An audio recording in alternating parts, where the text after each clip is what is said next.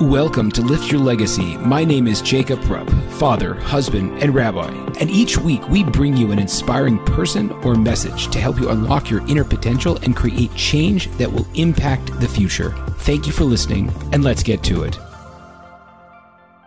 Back, ladies and gentlemen, this is Jacob Rupp with Lift Your Legacy. I am thrilled today to have on the master of communication. Now, it's so important to be able to effectively communicate to stand up in front of people. It's interesting. People say, you know, famously that uh, people fear public speaking more than death.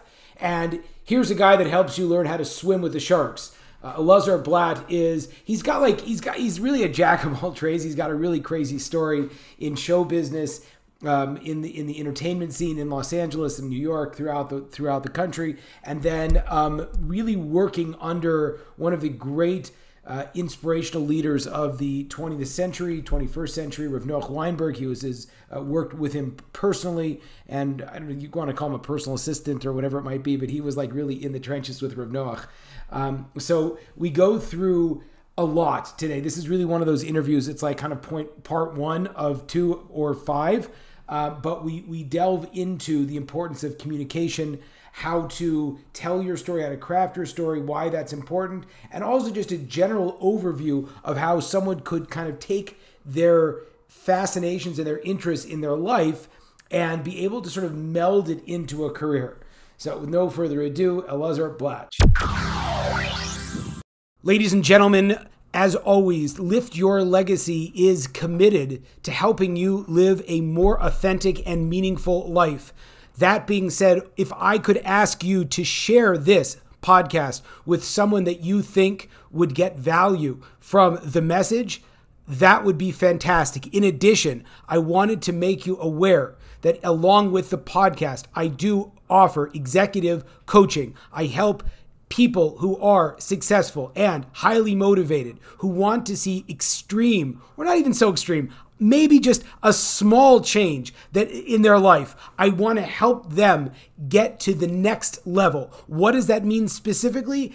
Creating more peace in your relationships with yourself, growing your business, clarifying your career and even if you need a little bit of help losing some weight or getting more healthy, I do that also. I'm not for everyone, but for those people that are invested in making their life better and taking the next step, I highly recommend you consider me as a coach for you. Now, how do you get in touch? Well, you found the podcast. I wanted to tell you also my email, Jacob, my first name, Jacob at liftyourlegacy.live feel free, please, to reach out there or on all, any or all of my social media channels. I'd be thrilled to give you a complimentary half an hour conversation to see if we might be a good fit to work together. And now, with no further ado, I ask you to please sit back and enjoy the show. Rabbi Eliezer Blatt, thank you so much for joining me today. I am thrilled to have you on. You are the master, the international speaker trainer. I feel like I have to be on the top of my game. I've never actually spoken to a, a professional speaker trainer before. I hope this isn't terrible. So I appreciate so much you being here and you are coming across in such a non judgmental way also what's amazing is that you really represent the old guard of, of Aish HaTorah, having worked very closely with uh, Weinberg, an organization and a person I am greatly enamored of and, and, and honored now to be a part of it. And you've really seen, besides you're like a drummer, you've done all kinds of like like awesome stuff. You live multiple exciting lives. So I'm really excited to uh, to jump in with some of the practical skills today. Thanks for joining me. Uh, thanks for having me. My pleasure get get me to where you are today. I know it's a long story, but how did you wind up being uh, uh, Orthodox? How did you wind up getting into Aish HaTorah? And then how did you really develop into the speaker trainer? Yeah, like like many of your guests, uh, I have I'm one of those uh, those stories that uh, Baal Tshuva, yeah, at a young age I was. It was pre ADD I mean, they had ADD, but they didn't call it then. I was the dreamer. And my teachers were smart enough to pull me out and make me the singer, dancer, actor of my grade school. So I'd get up there and I would do all the plays and the leads uh, in front of my, my, so I was in front of people and I was loving it until I was 10. When I was 10, I decided I wanted to become a drummer. I figured drums for a little guy. You know, I was the first kid in class. You know, red Right. hair, blue eyes, freckles. You know, we're not going to talk about the hair. Yeah. And uh, I started playing the drums. I got into a rock and roll band, and we were pretty good. In fact, Did we you, won. did you have a favorite drummer or someone that like inspired you to get started? you know what? There was a kid in sixth grade. There was a kid in elementary school. People don't ask me that question so much. And he got up there on stage and started playing the drums. Just him on stage. I even remember the song. It was called Wild Horses. Rolling Rolling Stones. I don't know. It was just it was just music. Okay. It was just music, but he but it created space for him to do a to solo. And for a little kid, and I was watching this, and I'm like, wow. Here I thought singing, dancing, and acting that was the way to get to get out there. And I see these these drums, so I want I started playing, and uh, I remember at my uh, my sister's bat mitzvah uh, when the band took a break and everyone went down to eat. I asked the drummer, could I stay up and, and play your drums? And uh, he said, great. I must have been about eight eight years old. And I sat down on his drums and I could still remember I was like in another world. No one was in the room and I was just playing. And that was the beginning of my uh, my uh, my drumming. So I got into this rock and roll band. We won this battle of the bands. And it was great. It was two hours recording time in a major studio.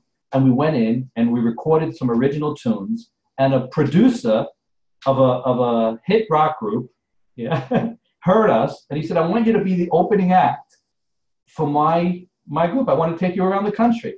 And we were like blown away. You know, we were, you know, high schoolers. I said, uh, you know, great. And then the singer of my band had a nervous breakdown. And that was it. We would just be, uh, we were just this band. And so I didn't know what to do with myself. I'm in, I'm in uh, finishing high school. So everyone said you have to go to college. Wait, wait, where are you living at this point? I'm in Brooklyn for all this point. I'm living in, in, in Brooklyn, yeah, growing up. And and now I have to go to college. So I go to college. What am I going to learn? So I learned television production. I figured television, little theater, music, dance. I get my degree, and uh, I'm ready to go off.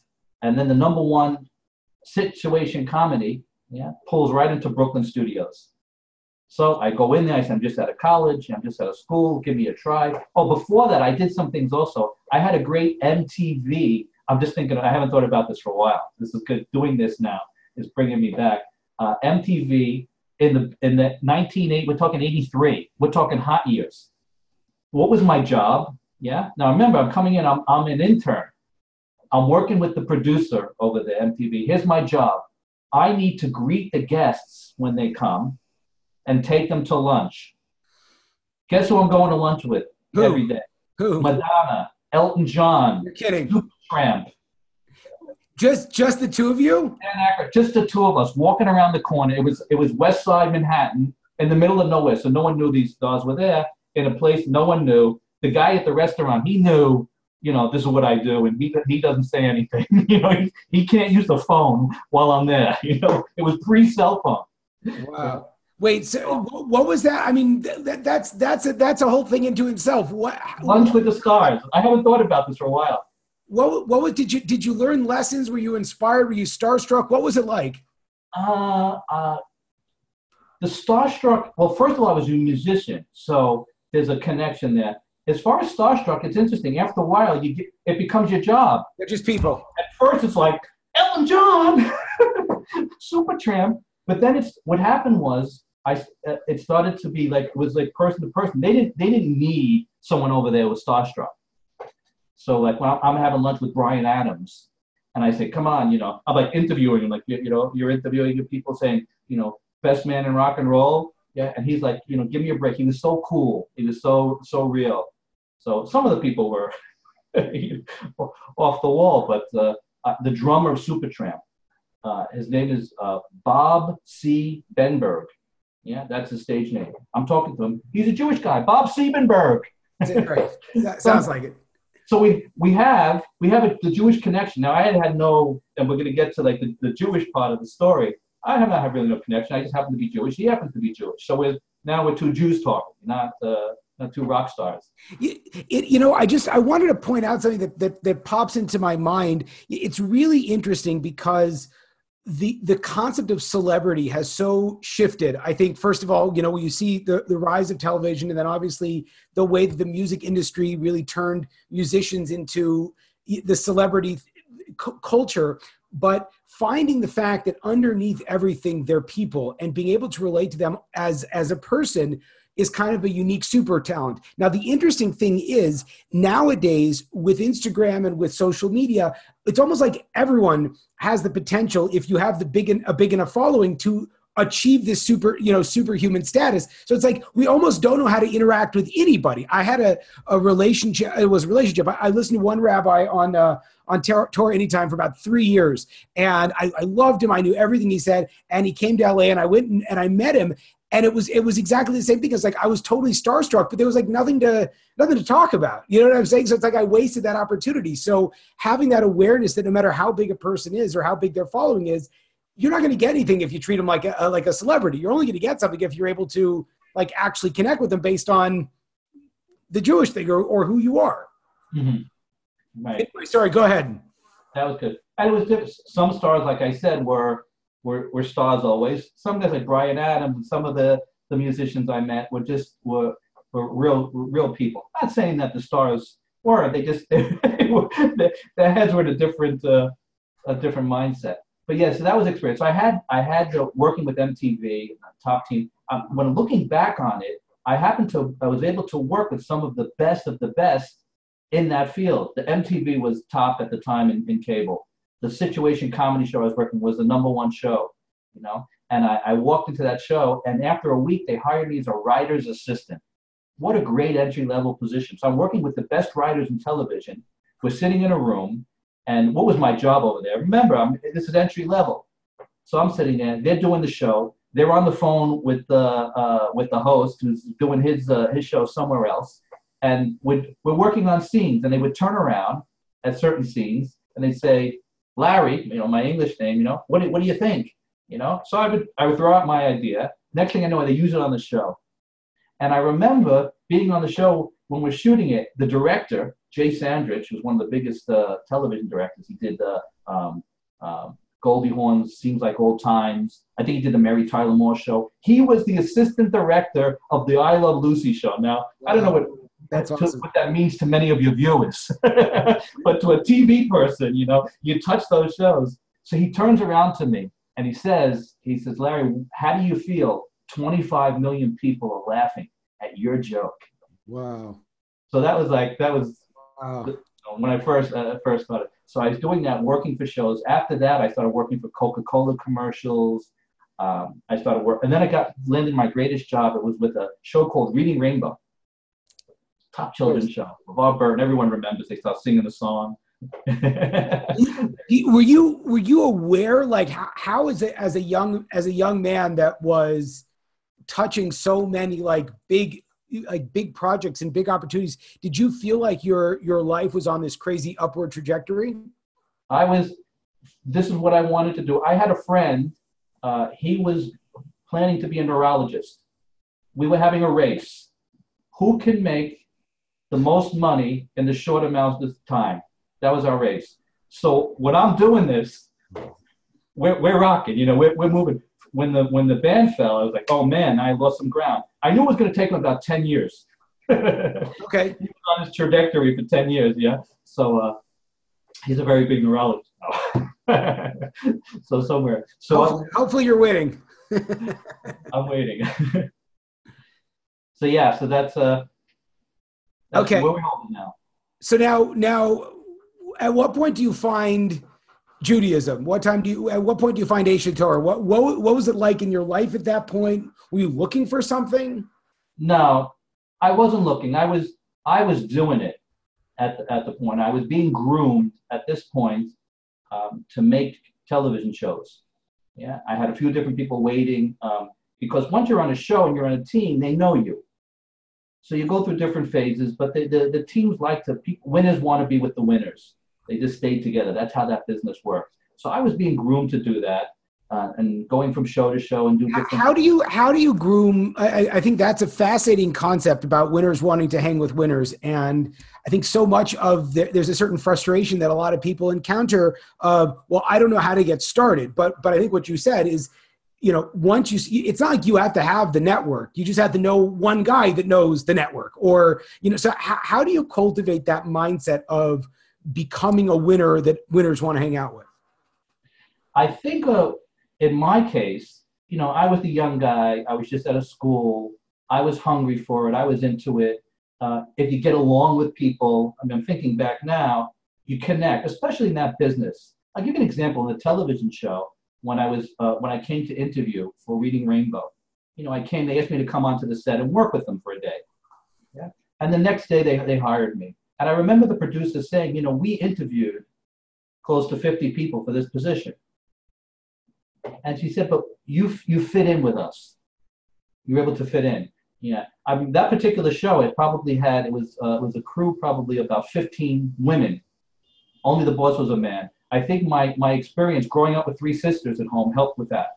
it's it's a it's a very interesting thing because I think a lot of people would look at an opportunity like this and and have the inclination to go in and really try to quote shine and like kind of throw themselves out there with the hope that what they are is what the what the organization is looking for but the reality is it sounds to me like you're saying that no people with a strong culture, successful company, successful venture, they sort of know who they are and they want to hire a team player that can sort of adopt to and then bring their own, you know, uh, a challenge, uh, no challenges, strengths and, and abilities to to the program. So that, that's a that's a big mindset shift. Exactly, exactly. I think that's what yeah. And so I was a I was a happy guy. You know, I came in and they saw that, and I was able to you know fit in. And I think this this was the beginning of me being able to communicate with people, learning. I was learning from the best, the best directors, producers. Um, how do you how do you you know communicate your talent on the show to the world? That's what I was watching. So I was with the you know for the for the show that I was working on, you know Cosby Show. This uh, Jay Sandrich who was doing it. It was he was a Emmy Award director. These were Emmy Award director uh, uh, uh, level for the shows I was working on, whether MTV for cable, or Reading Rainbow, the shows I was working for was all was all top. So I was surrounded by people I was able to model and uh, to learn from. So that was that stage. And then this, uh, there was a switch that came. Someone uh, someone invited me to a class at Aish HaTorah. They said, if you you know you got to come to this. Well, first it started off come to a Purim party, a Hanukkah party. They slowly getting me into things, and it was nice. Jewish people, um, lively conversations, guys and gals. Uh, it, for, for me, it was fun because I was I was doing well in the in the profession, so that was like a, nice social thing. But I didn't have that. I went to Hebrew school, but I didn't have any uh, connection. And once I graduated Hebrew school, you know, that was pretty pretty much it. Did you find the people at that original event um, were like your type of people? I mean, here you are sort of you know in this world of of the most successful in the in, in the um, entertainment industry did you feel like these are my folks when you when you showed up at the at the events? It was uh, young professionals. Okay. In manhattan upper west side. So these were these were they were all players. Right. Yeah. I just I, you know, just i'm putting on my nonprofit hat for a second and, I, and i'm i'm uh, wanting to call attention to just how important that is which is that you know you have to sort of figure out the kind of people you want to attract and then put together that that group of people. And even i see in i see in san diego it's like young professionals don't mean the same thing. You know you kind of really have to figure out okay well what's my what's my type of young professionals i want to work with? Yeah. Otherwise you would have left. If you walked around you're like these are not my people. You would have you would have never found this yeah, so these these were yeah these were like my people, and I was over there with, and I was learning, and I became the rabbi of my work. Yeah. Right. I, I was enjoying the learning so much. I go back into my work. At this time, I was working for another company. I, um, I was learning how to be a professional video editor at this point because my boss at Reading Rainbow, he said, you know, I'm paying a video editor big bucks to edit my shows. Why don't I show you how to do that? You know, you have to learn how to do that. At the time, at that time, video editing was a big thing. Today, Pre- my, uh, my eight-year-old can do on the computer what we used to do on the world's most sophisticated equipment. Um, so I was going to learn that. So that I figured the editing and the making shows together would make me more marketable. So I had to go now and learn from a place. That was going to be a two-year process to learn how to be an online editor at the time. Today it's all different. It's all digital. But at that time it was big machines and all. At that time, you know, I feel like an old man, you know. So uh, I was doing that, and uh, right at that time, that's when I was I was uh, uh going to these classes. So one of the rabbis, he said, if you like learning here once a week, you should go to Israel. We have a three-week program yeah, in Israel, Aish HaTorah. So I said, wow, you know, maybe I'll, be, I'll go to Israel for three weeks. I'll become a real rabbi. That's what I'm thinking because I'm learning. So I asked my boss for, uh, for three weeks my vacation off because I didn't want to go to Israel anything less. And he was wondering why I wanted to take three weeks in a row because no one takes three weeks off in a row. He says, I'm too busy. You can't go. So I didn't know what I was going to do. I was going, leaving on Friday, going to my rabbi's house. It was one of those early, early Shabbats where you have to leave early to go. You have to leave at one o'clock to go home, shower, and shave. And uh, I'm leaving, and my boss is coming. He says, Blatt, I need you to work overtime tonight. And they said, I can't, boss. Jewish boss, but I wasn't ready for, uh, for the story. Sunday rolls around, and my coworker says, The boss wants to see you. What do you think's going through my mind? You're fired. Fired. I'm like, Great. If he fires me, I'm there two years. I'm ready to be my other boss's editor. I collect unemployment. I'm off to Israel. Great. I call him up. He says, I'm too busy. Now, usually, if the boss is going to fire the employee, he, the employee doesn't call him up to remind him. so weird. Oh, he's, he's too busy. Friday comes, I got to leave early again, early Shabbos. Boss, you want to see me? Get up here. I walk up to his office. He's pacing back and forth. He says, You're probably wondering why I didn't offer you any overtime this week, Blatt, because overtime is everything in the business. So he didn't offer me any of that. So I'm like, Great, he's going to fire me. He says, But I like you, kid.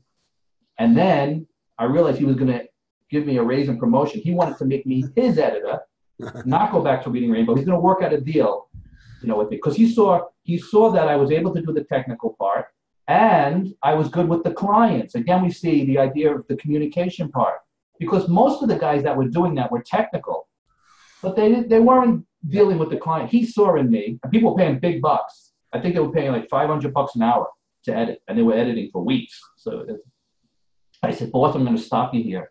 He says, Blatt, you don't stop someone when they're about to give you everything you wanted, which he was. I said, no, there's going to be something different. I want to go to learn for a while in a yeshiva.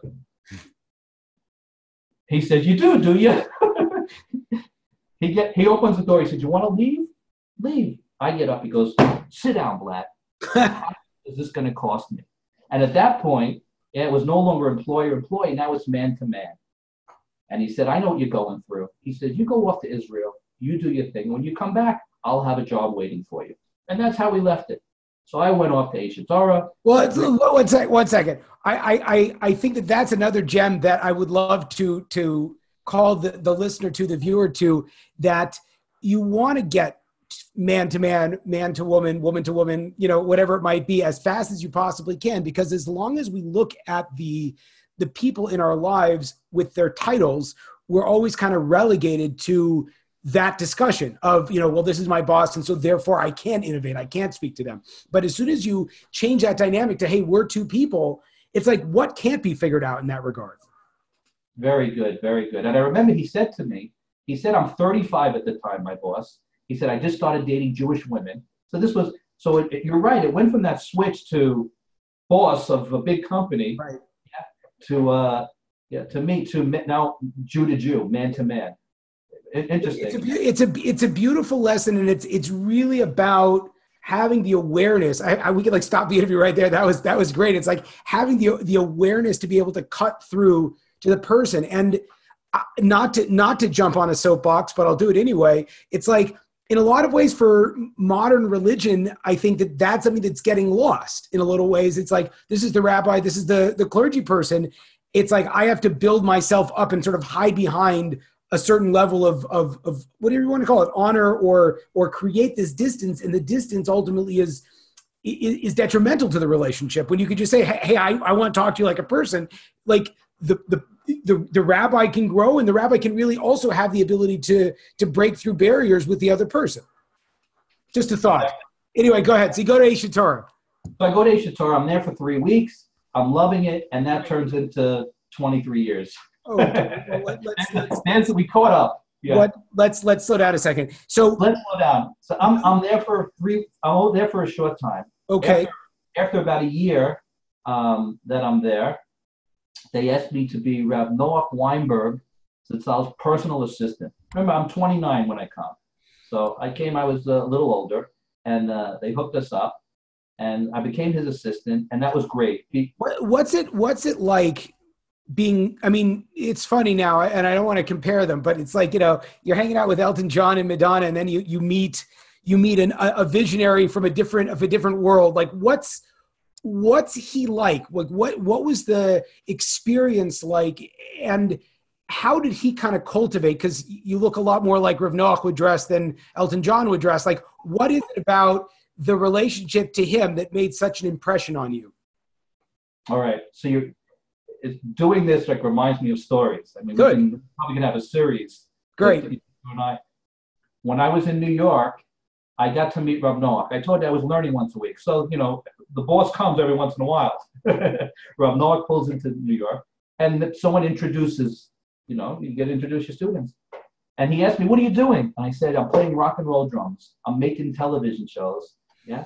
He looks me in the eye. You're going to love this. He says, How would you like to be really happy?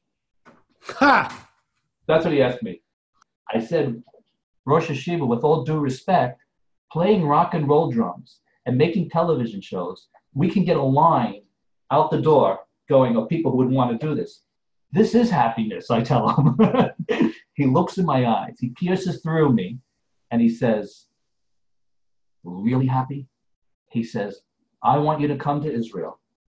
Spend some time over there, a couple of weeks. You check it out. You have nothing to lose. If you don't like what you see, if you don't get anything out of it, you just, you know, go back.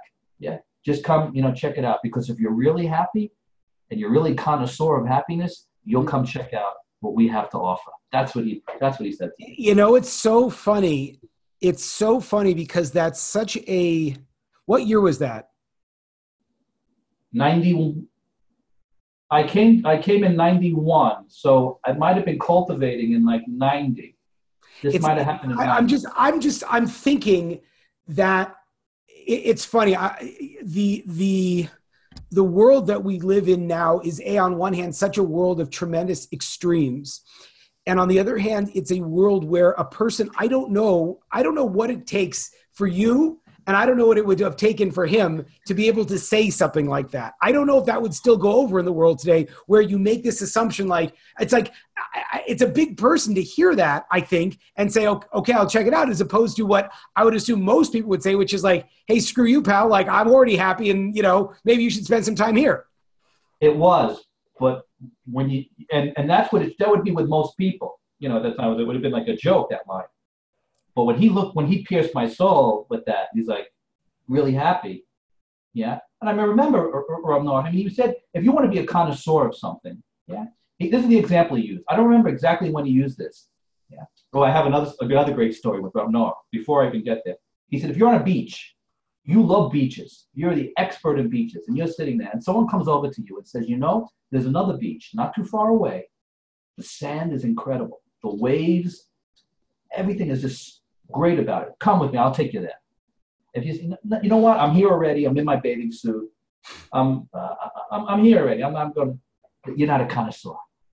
Because if you're a real connoisseur, and you can apply this to anything, right you'll get up and move right and I and I was I was enough in happiness. Not that I was I didn't wasn't thinking about how to be happy, you know. I was just in it, you know, doing it. Uh, but uh, he made that that uh, that invitation, and I think inside there was just something. I love the learning. I had the time going to Israel, and it was, it was all pre-birthright and everything. Um, I just I, I went for it. I, I, I, I took it and I went and I loved it and I, I got to Asia Tour and found guys like like myself. You know, these were professional guys. We there was accountants and investment bankers. You know, the people are, are over there, and I just I just fell in love with the, the learning and stayed. I never knew I was gonna what was gonna happen with it. I didn't have any any uh, plans, but so just just come. Then when I, be, I became his assistant, so now I'm, um, I'm getting to be with the great wise man every day. I'm in his office. what was that like incredible. I, mean, I should write a book. I mean, everyone's writing books now. You know, after like I have have have my book. Incredible being a, around a great wise man like that to see how he acted, how how he lived. I, I mean, I could tell you, I could tell you a, a, a stories. I was sitting up. I was I was standing up there once. Here's a story. I'll show you his greatness once. I walk into his office and he looks a little forlorn. You know, I said, Rosh HaYeshiva. We had a good relationship. What, what's what's the matter? He says, I need forty thousand dollars to pay my uh, to pay the, some salaries this, this time. Forty thousand dollars. He says, I don't know, I don't know. He says, I want you to go out of this office, and I want you to find me forty thousand dollars. I said, no, you know, Rebbe, where am I going to find? He says, don't ask me questions. I want you to go out of this office and find me forty. So I walk out of the office. I'm thinking, what am I going to do? I walk down to the beis medrash. I'm I'm standing there. What am I going to do? This. There's a guy sitting outside the beis medrash yeah, he's standing. He's there. He's there with the stender. You know, he's learning. And I, uh, uh, I don't want to say the name of the person. I walk over to him. He was a person who uh, represented uh, millions of dollars in the stock market. There. And I walk over and I said, Rav Noach needs forty thousand dollars to pay.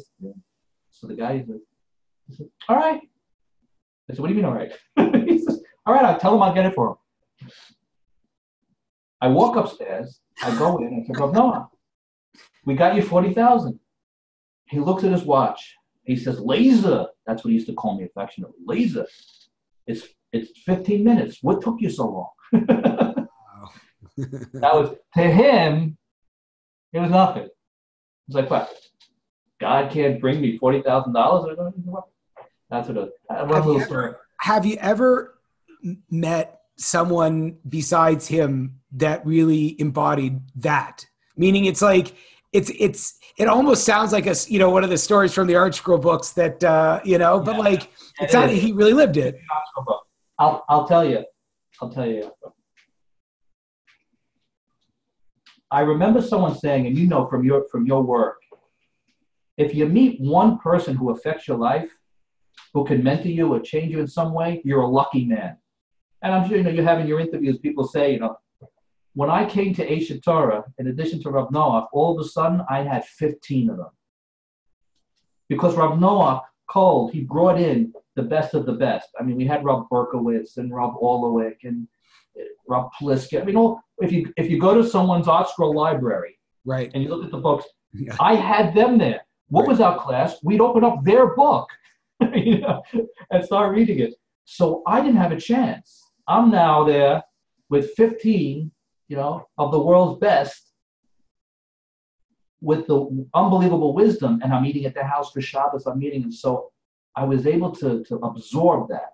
So mm. for me, yeah, that, that, that was my beginning. It changed over time. I mean, I, I was over there. I, you, you had Yom Tov Glaser, I know, Rabbi Glaser on, on your show. We were, we were in yeshiva together. That was part of, wow. we had, we had our team.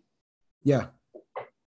You mentioned, you mentioned that, uh, uh, in our in one of our pre uh, pre interview discussions that you know everyone eventually has to go out, but you you never did and you never had to. What was that experience like? Staying staying back, like did it's interesting for me because I think in the, in the, corporate world, in the professional world, people are always trying to figure out, okay, you know, I'm gonna like like you said, you know, I, I'm gonna be more valuable when I know how to edit. And then I'm even more valuable because I know how to handle the customers and I know how to edit. And so that's going to lead me to this opportunity. But then it's like you go to yeshiva and it's just like I'm hanging out with these, you know, the 15 wise men and I have no idea where this is going to go. So did you were you aware that that shift had happened where you had kind of moved to a a going into a being type of a state and then how did you develop out of there? Did you ever kind of go back into, okay, what am I going to do with my life? Or it just literally was this organic process?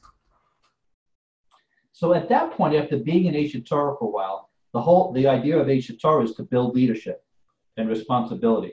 So I knew at this point I was going to have to do something with my skills. We used to have a running joke when I used to walk into Rav Noach's office. He used to say, Hashem's looking. He says, What do I do with it? Rock and roll drummer. Yeah. Television producer. Yeah. Oh, watch this. You know, he where this was going to go. So at the point, at that point, most of the rabbis they go out. And they I'm, become- I'm stopping you again. I'm sorry. I'm sorry. I just also want to point that out. It's funny. I literally very recently I, I had a guest on my on my podcast that we we spent about an hour discussing this topic. It's so funny. Nowadays, most people would say, "Let's get rid of the fact that you're a rock and roll drummer. Let's get rid of the fact that, and pretend you never saw television before." Or if no, like, "No, these are the these are the things you care about. Now let's try to figure out how you're going to serve the Jewish people." Not like exactly. there's this like you know esoteric Jewish person that never watched TV and never and mm-hmm. never played drums. Like yeah, it, that, it's an ama- it's an amazing sign. No, no, Rob, Rav Noach and Aish HaTorah, the whole thing was take a person, here's their, what are their skills, what are their talents, and how those, there was a reason why I love that. God did it this way. You know, now we have to figure out what, what to do. And you can go with um, all the Aish HaTorah boys that, you know, the ones that you know, will all have with Moshe Zeldman, Yom Tov Glaser, all my students, by the way. You know, Oh, nice. that's uh that was our we were coming from a different place. I mean, that Moshe Zeldman that he spoke to, you know, he you know computer uh you know genius or, or Yom Tov professional surfer and, and, and singer. What do you, what do you do with it? It was the same same with me. That's what that's what you do. You cultivate those talents out. So I was going to be sent out like all of the others, all, all my friends. You know, go out and become a, a kiruv rabbi somewhere.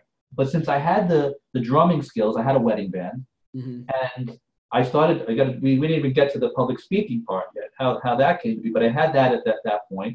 So those two things, I was most of the reason why um, the rabbi, in addition to going out and being kiruv rabbis, is what are they going to do in Israel? Israel doesn't need, you know, a Baal Tshuva rabbi. You know, there's plenty of real real ones. You know. So, um, but I was able to stay, and uh, my wife was very, you know, happy about that. You know, for me, you know, for a wife to be able to stay in Israel. Most of them, you know, they they realize, you know, when they marry a Kiruv guy, you know, that, that's one of the questions they ask. If you're gonna, if you when you get a set up with a Kiruv guy, that you're gonna, you know, How, how, long, how long are we living in the middle of nowhere? you know, you know from your background, you know, where where are we going? You know, Right, I got right, offers. right. I got offers. You know, uh, I got an offer once.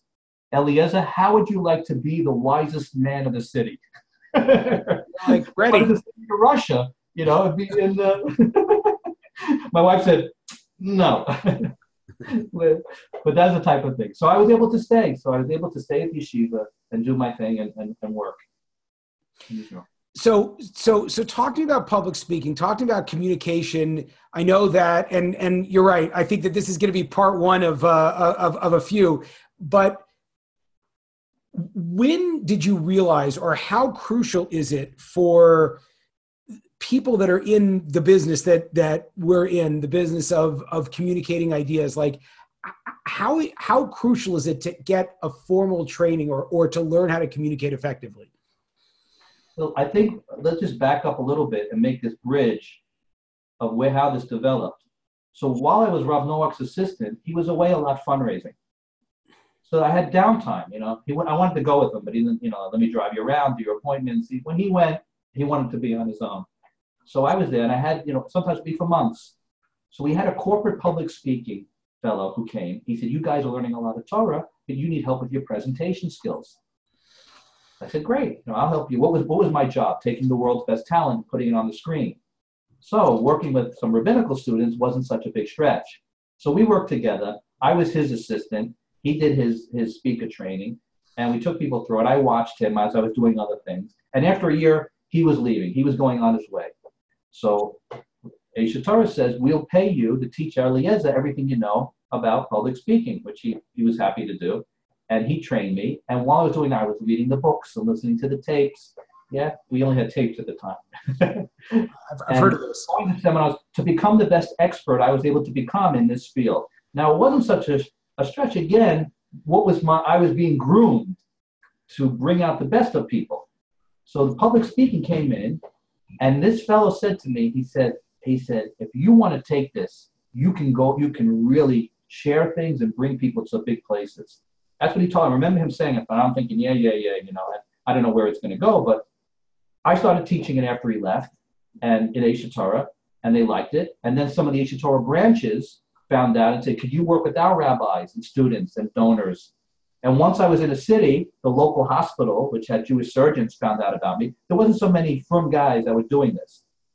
And the local kollels. And before I knew it, Yaakov, I was flying around the world doing public speaking training. It, it fell in my lap. all the coaching of the things that I did with the music and the sports and my background, and the coaching just fell in, fell into place. And in this world, there was so many people in the film world that people aren't, aren't looking generally for speaker trainers. E- even today, it's it's you know in the in the in the non uh, Jewish world, you know, it's it's people know about it. But if, when people say, "What you have, you get paid to help people speak," you know, it's like I don't uh, I don't understand. It's, it, it's so funny. I was literally just thinking that because I was, you know, just like it takes a certain level of greatness to not try to negate a person's past, but to embrace it and to and to channel it. I think that also something that a lot of a lot of uh, a lot of people are challenged by is this idea that despite the fact that you have the truth of the Torah, and, and I, I feel like this is more and more kind of cultivating into my my central message. I remember that the Gemara talks about how Shlomo Melech knew where all of the King Solomon knew where all of the uh, were buried treasures were buried in in the uh, in the depths of the ocean because he knew the Torah so well. And so there's an idea that the Torah can teach us everything. But the reality is nowadays that that was Shlomo Melech. That was someone that knew the Torah really well to be able to extrapolate the information into the practical everyday life. But nowadays, most of us don't have that broadness of our of our knowledge, and we need these practical skills. And so it's such you know what I'm saying? It's like such a it's such a a mind shift that makes so much sense. Why people in the Jewish world might say, well, like you know, I, I am communicating the truth like why do i need to be able to take a you know like speaker trainers are are for for tony robbins it's like no man like you need to communicate a message effectively same thing's true it's like you might know i had someone else on on my show that you know was was trying to at, like just focus on shalom bayis in the you know the the black hat learning world.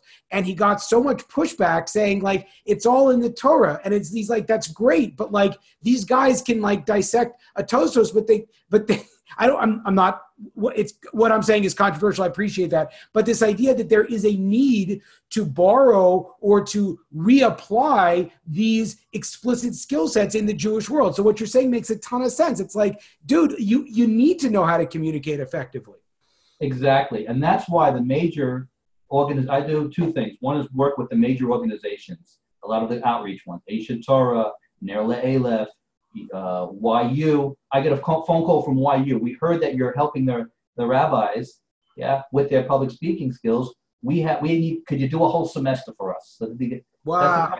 Calls on it. So, you know, YU, and then I travel around all of the, the big uh, com- companies and organizations. Why?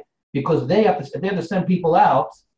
Yeah, one of the skills that they're looking for, one of the biggest skills today, yeah, is to be able to communicate. Now you would think, you know, today everything is computer, there'll be less of that. But because everyone's on their computer, people aren't communicating anymore. So all of the skill becomes so much more important. So I'm coming, and it's all levels from a guy who wants to throw up just thinking about public speaking to Charlie Harary, Lori Palatnik, you know, good to great. When they came to, they were already good. They wanted to up their game. And a lot of people you had on your show, Yom Tov Glaser, Moshe Zeldman, Yaakov Lehman. I mean, you see, you now, you're getting them from a different angle. They're not on your show, they're not saying, and, you know, I, I got communication, you know, you say, what you? You need? Right. Because when they want to up their game, they know that that skill set is going to take them over the top. And that's where, uh, right. And I think it also breaks down to that human human connection at the end of the day is that a person you you can't look at this polished i mean it's it's a it's a stupid thing that we all do is it's like we look at a person's polished end product and we say well you know must be that that's how they are and I almost don't want to admit that I might need these technical skills because it's like, well, you know, they don't need it. And the reality is that why most people are at the places they are is because they just stepped up and said, I need help with these technical skills. Exactly. You know, TED Talks, people know TED Talks right. is the biggest, raise the level, it's good for business. Most of the best TED Talks, the people that you see on those shows, right, they've been coached. TED Talk coached them people like wonder, wow, she's not just the world's best neurologist. She's also a good public speaker. Yeah, no, they came with their content and who they were. And then, then they would, how do I know that? Because I'm on on online with some of the best trainers. Oh, I trained this one and I trained that one. So that's how I can see. They, ha- they have a book that came out called Speak Like Ted. I think and they yeah. broke down. Yeah, they got official ones and unofficial ones. Nice. Now, so Yeah. so so communicate. Okay, so here's here's what I would love to do. We have to. This is going to be part A. Um, but but just to leave, if you could leave the viewers um, and the and the and the and the listeners with three tips towards more effective communication. And really, next time, I'd love to delve in more to the nuances, etc. But like, what are three tips that a person could just take right now to make them a more effective communicator? Okay. So I think the the first tip, and the thing I spend a lot of time on with my students, with my clients, is what I call vitality, passion, the energy that you bring to the table. When you're coming, you're speaking about something, and you're passionate and you're into it, is the number one thing. Once I have that, I have clay to work with. Now, once knowing that, you can see how these names that I threw out of some of the students, they're all they all are all passionate about what. In fact, some of them were so passionate and so powerful and strong, they were worried. If I go out in the world with this, is it too much for people to have? And the, and that vitality and passion, as we know when we see them, that's what people love. That's why when a crowd of 2,000 people could come around an Aish conference, you know, uh, uh, a, uh, Project Inspire, an Olami thing, and you have a speaker who comes up with that energy, you need a lot of energy to spread for a few thousand people. How are you going to keep their attention? They got their phone in front of them. What? A person that's this big on a stage is going to take. So I need to come in and say, how do I get that little person on the stage with their wonderful content to be able to reach out so that person puts down the phone? Yeah, that's the, the whole thing. And listen to that person. Well, one of one of my students once they said to me, Eliezer, don't don't feel bad. I'm not on the phone. I just want people. I want. I got a friend. I want them to come in here and hear what you have to say. So that it's like, if, if you're using the technology for that, that's that's great. But uh, so I think I think a, a key point, one of the, the key points is vitality, passion, energy, and I have exercises to build this. How do we bring that out of a person? Once you have that, then everything starts to fall into place because people will at least listen to you. That's that's the that's the first. Now, with other things to go. I mean, we can you know do a part two. I mean, I have a whole semester. Leave, leave it, leave it, leave it. I think vitality is very important. I think that Yeah, I, yeah. I, I think that that the idea also, which is so crucial, is and, and forgive me if I'm if I'm kind of stepping on your toes here. I think that a that vitality is something that you can can be cultivated. So a lot of people are like, well, I'm not a charismatic person. The answer is like, well, maybe not, but we could get you a lot higher. And also this this beautiful idea that you said which is that and it goes down to all of the the the um the nonverbal being so much a part of our communication. It's like the passion sells what you're selling is secondary you know and it's like i have to become so technically skilled at something. People think well you know i'm i'm a big phony if i get up and i talk about something. And it's like that's not really it. It's like if you could communicate that passion right then the technical skills they'll they'll, they'll get in. But the passion is the first thing. That's amazing. Great Yeah. There's also some, an, an important point here that you brought up that I think is also key in this is a lot of people have heard it's not what you say, it's how you say it. yes And the, and the speakers and speaker trainers will say that. I think one of the differences when I come is at the end of the day, your content is the most important thing. However, if you can't wrap it, what good is it? But I think a difference, and I want to, I think this is important for for your viewers to see and to hear, is to know at the end of the day, we're not. ma- It's it's authenticity. We throw that word around. You know, authenticity. What does that mean? It means at the end of the day, your content is the most important thing. And I have a whole thing on content development, how to bring that in. And I mix that with the presentation skills. Those two things together, the content and the presentation skills, that's what gets through. But people shouldn't feel. There's this famous study that was shown how the the verbal part was uh, was get the most attention, and then the the vocal part. And when you look at that study, people misconstrue it. and it looks like content is. It looks like that the how you say it is key. It's not. You want to get your content across, but you need to have be that vessel that it's going to happen. That's where I come in. But I want people to know that, not think, you know, oh yeah, if I'm a good showman, who cares what my content is? That's not, I don't think, the Jewish perspective. I think I think that um, you know I, I spoke to someone yesterday that in the, in the real estate space and so he was he, he so I said you know you know real estate training nowadays is is, is big business and so I said you know okay you know it's cra- one of these crazy stories that he he he increased his net worth by 20,000% in the last 2 years like super impressive I said so you're going to start teaching and he said it's really important to me that I actually do all of the stuff first before I start teaching. And then he gave some names of people that I, I, know. And he said, you know, really their portfolio is not that impressive, but because they have the platform, everyone thinks they're so much more successful than they are. And so that, that what you're saying is, it sounds to be like exactly that message, which is, you know, yes, it's very important, and having a platform and being able to speak, it all increases. It, it, it's it's a it's a it's a big um, you know force multiplier of your message but the message still has to be good. You actually have to know and, and try to live that what you're what you're what you're selling. So it's it's important. Great. Um, how do people find you now? I'm, I'm very excited and, and this will definitely be part one. Yeah so i'm uh, i'm on linkedin. Yeah eliezer blatt. I mean just go over and uh, it, it comes up. Uh, i have yeah people can email me you know eblatt6 at gmail.com you know, I, sometimes people call. They say, like, I try to get in touch with you. Like, I'm, I'm on, I'm all over the place. It's not hard. Google. To, you should try it. yeah. So Amazing. I'm here.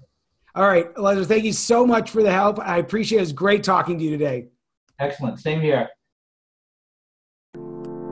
There you have it, folks. Another inspiring episode. If you enjoyed this, I ask you to please share this with your friends and to like us over on Rabbi Rupp through Facebook or on YouTube. And the more that we're able to get these important messages out, the more that we can really make an impact in the world. So I encourage you, please, to stay tuned. Uh, we have a ton of amazing speakers coming up and also to tell your friends about it. Thank you very much.